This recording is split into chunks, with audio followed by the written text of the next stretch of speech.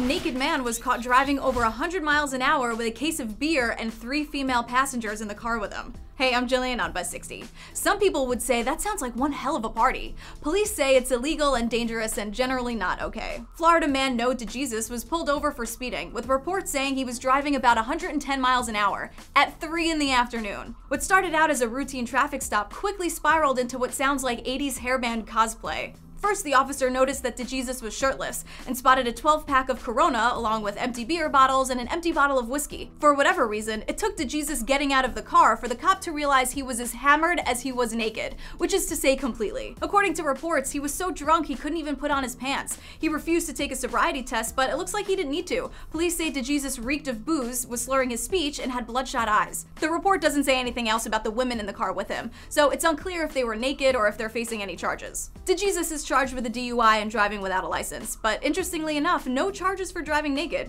which actually makes sense because this was in Florida. Buzz60, now you know, pass it on.